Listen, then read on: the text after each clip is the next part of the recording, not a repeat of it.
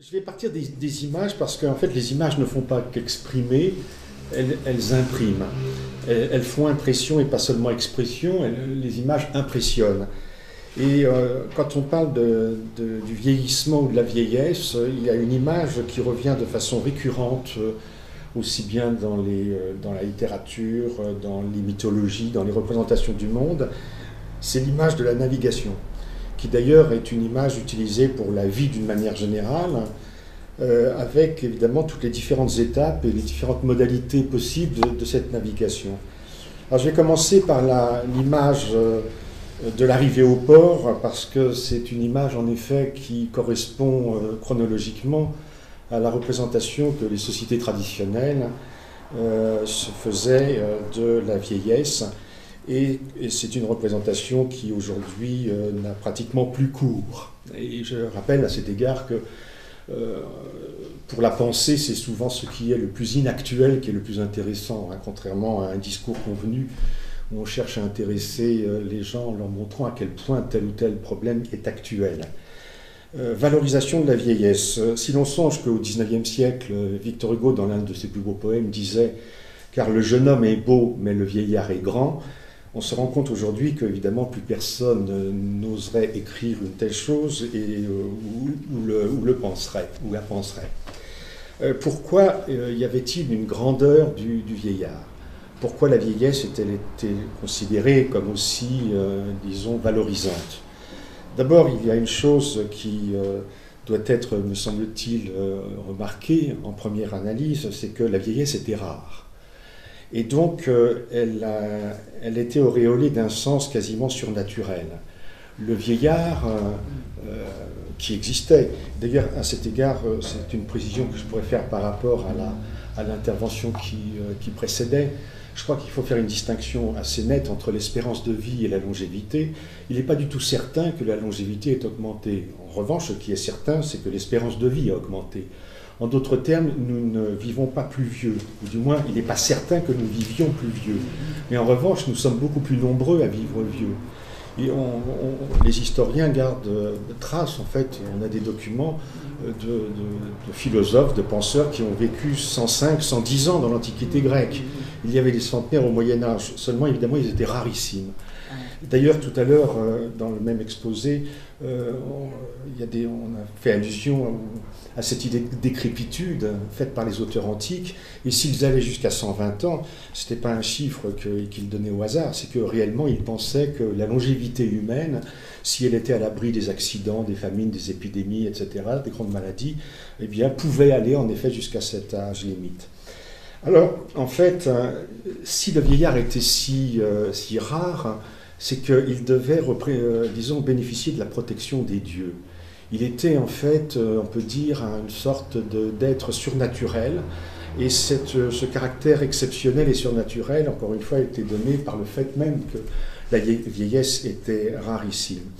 Autre chose à jouer, parce que quand on pense, en fait, quand on essaie de, se représenter les visions du monde de nos ancêtres, euh, on a tendance à, souvent les, à les intellectualiser, c'est-à-dire à projeter sur eux euh, euh, des, concepts, des idées qui, nous appartiennent.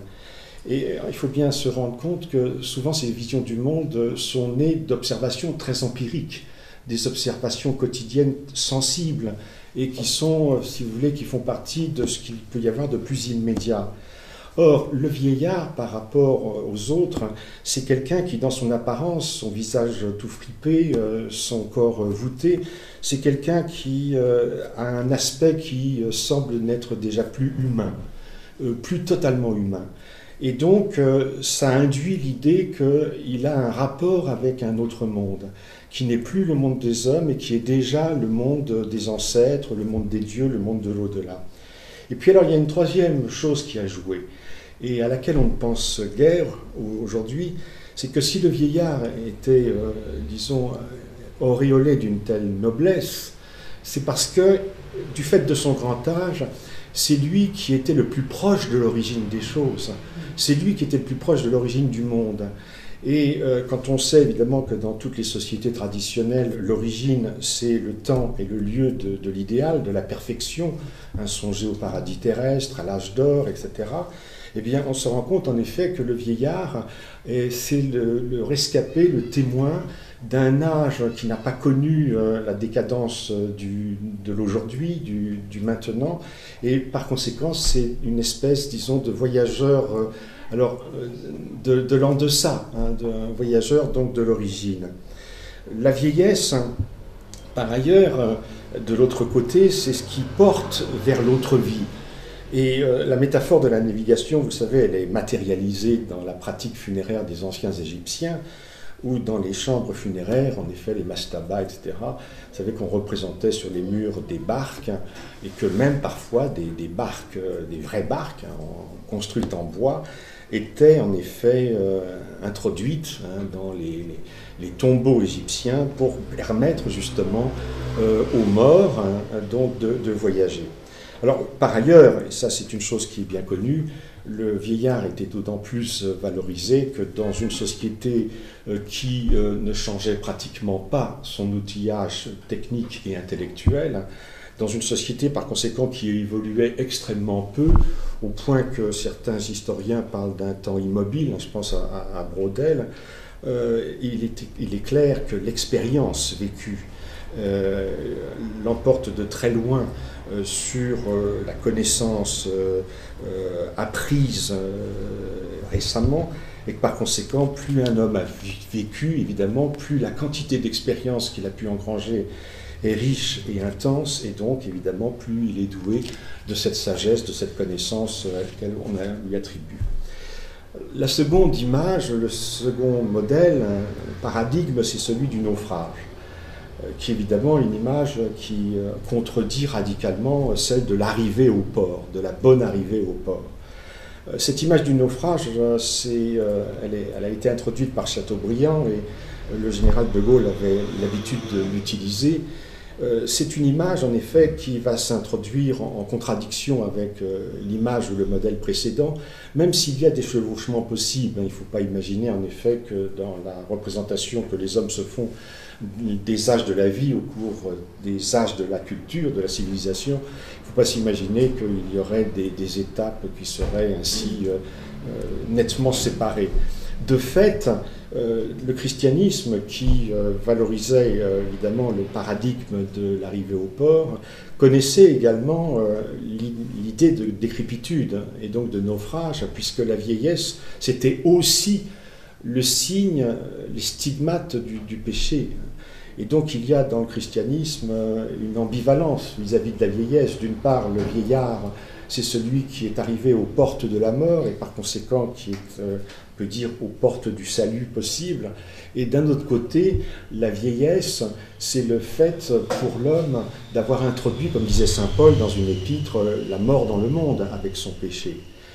Euh, aujourd'hui, euh, cette image du naufrage, elle, euh, elle, a gagné massivement au point d'imposer, on peut dire, sa tyrannie, sa tyrannie implicite.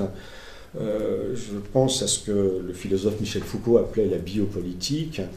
Il y a en effet une médicalisation et en même temps une économisation de l'existence une médicalisation de l'existence, c'est-à-dire ça c'est quelque chose de tout à fait nouveau qui se met en place au XIXe siècle et dont on voit aujourd'hui euh, les effets de plus en plus massifs et euh, de plus en plus généraux, à savoir que la vieillesse est de plus en plus assimilée à une sorte de maladie que l'on pourrait ainsi traiter euh, de manière médicale.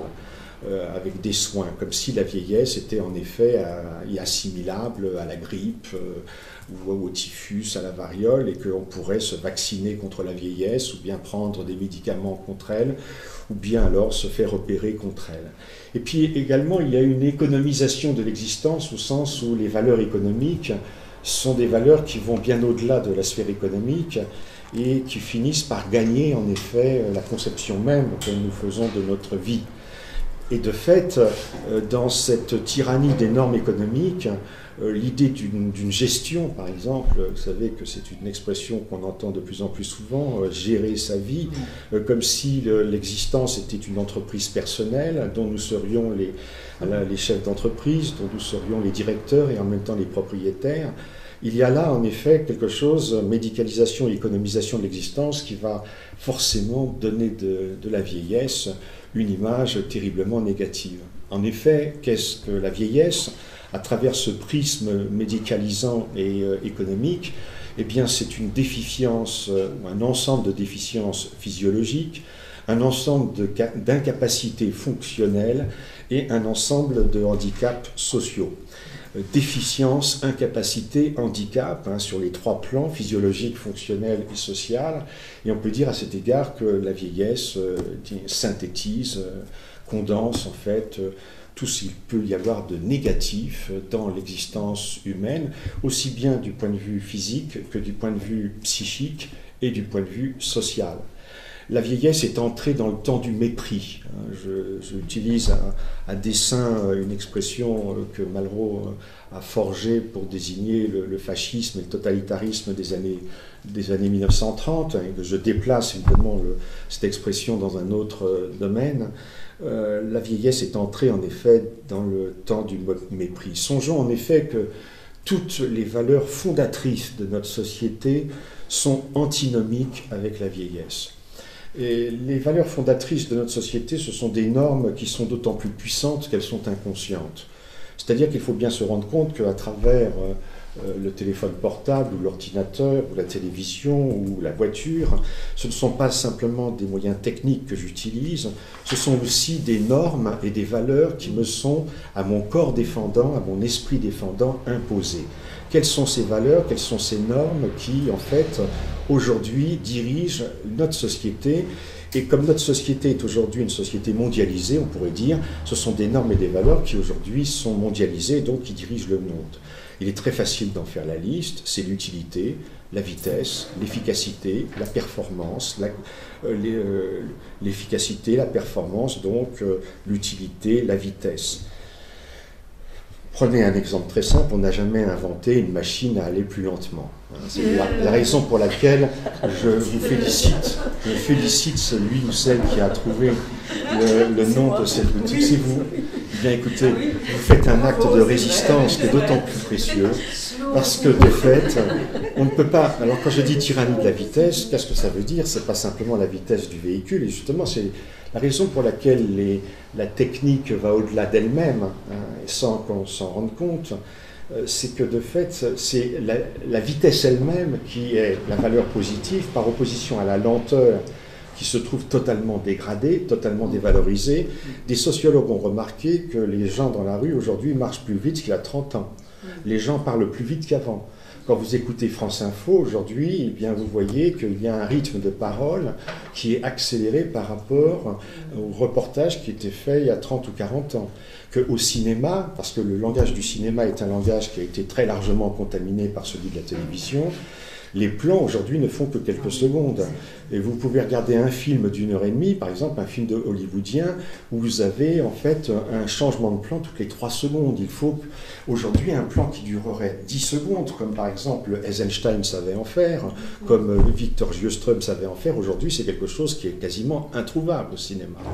Donc vous voyez, la vitesse, elle s'insinue dans les interstices de notre existence. Elle n'est pas simplement affaire, disons, de, de puissance de calcul de l'ordinateur, de puissance de déplacement d'une voiture ou d'un avion à réaction, ou d'un TGV.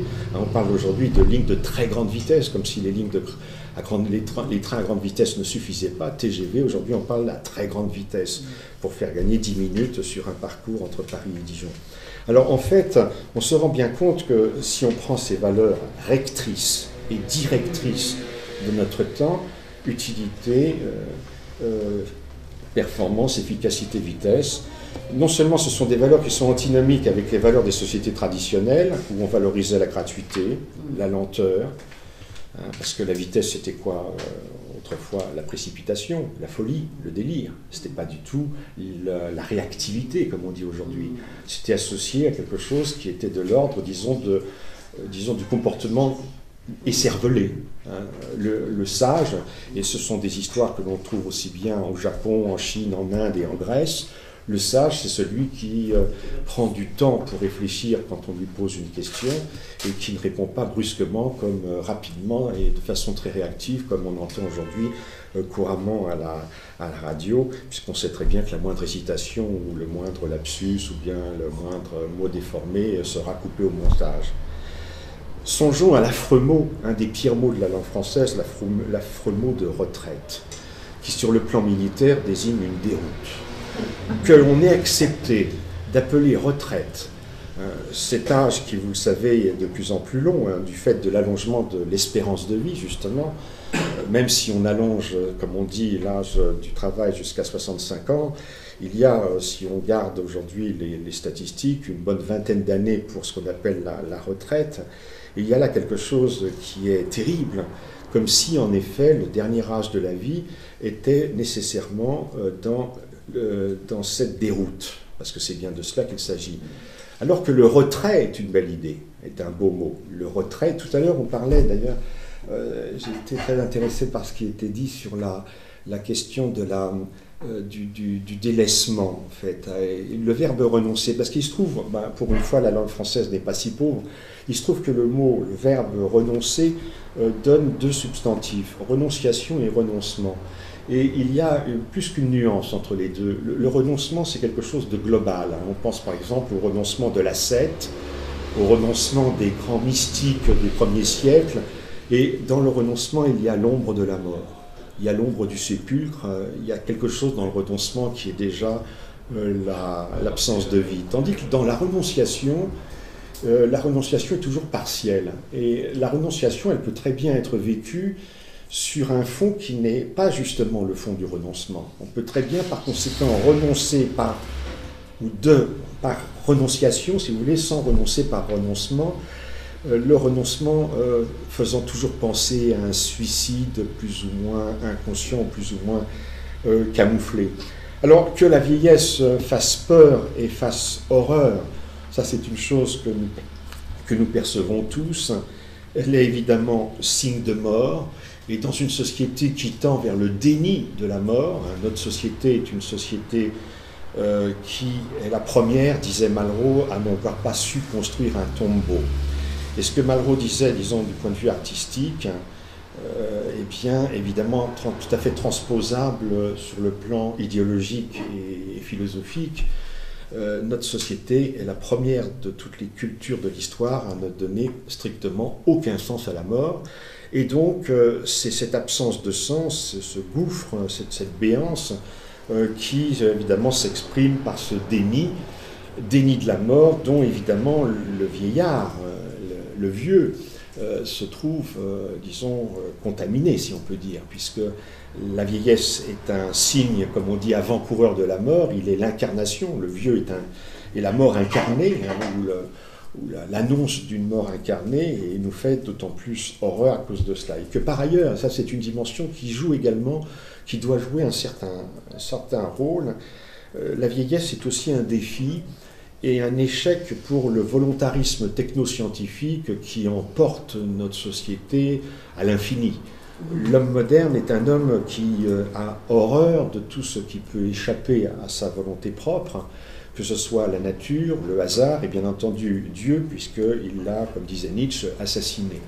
Et la mort de Dieu n'est pas, euh, comme d'ailleurs l'avait pressenti Nietzsche, n'est pas tellement une libération euh, de l'athée qui est libre de, ne pas croire, plutôt c'était disons, le soupçon de Nietzsche et l'inquiétude de Nietzsche, en fait, la, façon d'évacuer un grand témoin, un grand autre, euh, pour que l'individu, en effet, ne soit, soit resté seul face à sa, propre, à sa propre volonté et à son propre désir. Donc la vieillesse est signe de mort, la vieillesse est défi et échec au, volontarisme technoscientifique, la vieillesse est aussi un échec au désir de toute puissance et au narcissisme. Euh, il y a dans la vieillesse, comme évidemment dans la mort, du réel qui m'échappe et que ce réel qui m'échappe, évidemment, m'est insupportable, d'où le déni, ou d'où toutes les stratégies de contournement euh, contre la vieillesse, c'est-à-dire en fait la seule vieillesse acceptable demeurant une vieillesse finalement jeune, c'est-à-dire une vieillesse impossible. Et donc euh, j'en viens à, une troisième, un troisième chapitre, hein, l'illusion d'une éternelle navigation, hein, pour rester dans cette métaphore de la, de la traversée. Euh, qui euh, exprime en effet ce déni euh, auquel je faisais allusion. Aujourd'hui, nous sommes, me semble-t-il, en plein dans, ce scénario de cette illusion d'une éternelle négation, c'est-à-dire que le déni de la mort, évidemment, débouche sur le déni de la vieillesse. En d'autres termes, le vieux doit être jeune. Ce qui veut dire concrètement que les attitudes, les goûts, les activités, euh, les désirs, les projets, enfin, etc., euh, du vieux ne sont acceptables socialement et aussi à ses propres yeux, puisqu'il y a une assomption personnelle par les individus des normes sociales qui leur sont renvoyées, eh bien, euh, il y a la, seule façon finalement acceptable pour la vieillesse d'être vécue, c'est d'être vécue comme une jeunesse, c'est-à-dire comme le contraire même d'une vieillesse. Euh, il faut bien aussi se rendre compte d'une chose qui est à cet égard évidemment aussi inquiétante, euh, c'est que notre société déteste l'autre. Il y aurait là beaucoup à dire là-dessus, et je pense en particulier, euh, quand je dis notre société déteste l'autre, parce que, j'y reviendrai pour terminer, devenir vieux, c'est devenir un autre que soi. Montaigne disait de façon très forte, très profonde, qu'il peut y avoir plus de distance de soi à soi que de soi à l'autre. Et quand, on parle de distance de soi à soi, ça peut être d'ailleurs au cours d'une même journée, on y a fait allusion tout à l'heure, mais ça peut être bien entendu encore plus au cours d'une existence de, de, plusieurs dizaines d'années. Il y a aux États-Unis tout un mouvement qu'on appelle celui des amortels, non pas immortels, mais amortels. Je ne sais pas si vous avez entendu parler de cette dernière fantaisie, mais il faut prendre très au sérieux ce genre de choses parce que songeons que ce type de fantasme, euh, d'une part, n'a pas simplement, disons, une certaine opinion pour, pour, euh, pour eux, mais également de l'argent, et qu'il y a des recherches euh, en laboratoire qui sont faites dans, dans, cette direction. Il y a un docteur qui a écrit un ouvrage qui s'intitule La mort de la mort. la vieillesse serait ainsi une, une maladie.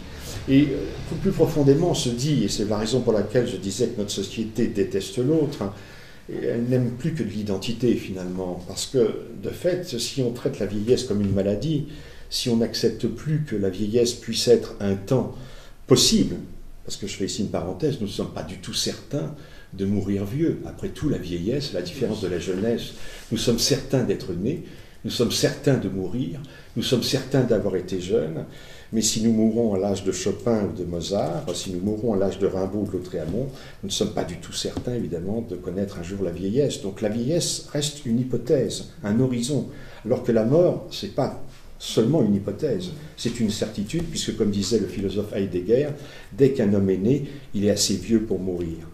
Donc euh, la logique de l'identité, euh, c'est quelque chose qui nous travaille de façon plus ou moins implicite, plus ou moins consciente. Nous acceptons de grandir, de vieillir, de changer, mais à condition que nous soyons les mêmes, chose qui est probablement évidemment une équation impossible à résoudre. Alors je terminerai, si vous voulez, par euh, un, chapitre intitulé On ne naît pas vieux, on le devient. Hein, par euh, évidemment transposition de la fameuse formule de Simone de Beauvoir. Euh, en effet, la vieillesse est davantage liée au temps. C'est une banalité de dire ça, je m'excuse, mais il y a des banalités qui méritent d'être euh, rappelées. La, vieillesse est davantage liée au temps qu'à la vie. Euh, songeons en effet, d'un point de vue, disons, des, sciences naturelles, du point de vue du, vivant, que c'est le privilège des vivants supérieurs que de pouvoir vieillir et de mourir éventuellement, de mourir vieux. Il y a beaucoup d'êtres vivants, c'est la plupart des êtres vivants sur Terre ne connaissent pas la vieillesse. Une fois ils ont atteint, euh, il y a un stade de croissance, bien entendu, ils atteignent un âge adulte. Et puis en fait, cet âge adulte est une sorte d'âge en plateau. Et à partir du moment où, disons, la longévité, qui est une, sorte d'horloge interne assignée à chaque espèce, cette longévité s'est épuisée, eh bien l'individu meurt. C'est le cas de bien des arbres, bien des plantes, de la plupart, par exemple, des insectes.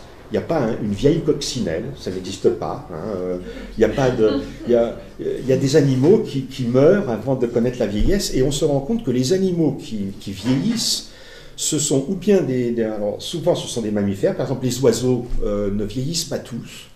Euh, ou bien des, euh, des animaux, des, mammifères, comme un éléphant. Hein, on voit, il y a des vieux éléphants qui. Euh, ou, alors les animaux domestiques, ça c'est très intéressant, comme si les animaux domestiques prenaient cette horloge humaine. Hein. c'est Lacan qui parlait des animaux domestiques avec des apostrophes H, O, etc.